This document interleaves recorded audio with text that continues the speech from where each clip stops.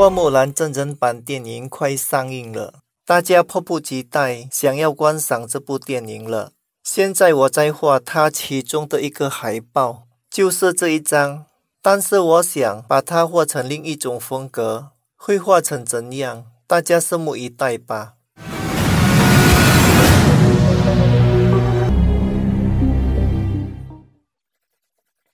大家好。最近我看了《花木兰》真人版的预告片。这部电影由华特迪士尼影片公司出品，is produced by Walt Disney Pictures。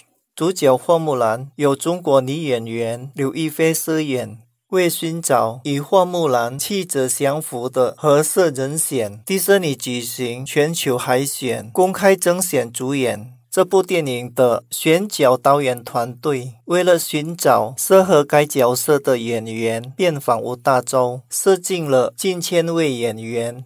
对这个角色的要求，要有花木兰聪明勇敢的性格和擅长骑射、勇于拼杀的英雄气质，又要会说英文，最重要的是要具备明星素养。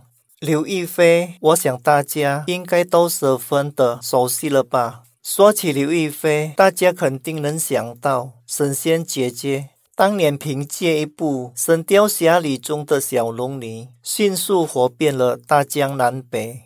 一身白色的衣服，长相青春灵气，气质非常独特，那股子仙气更是很多人无法模仿的。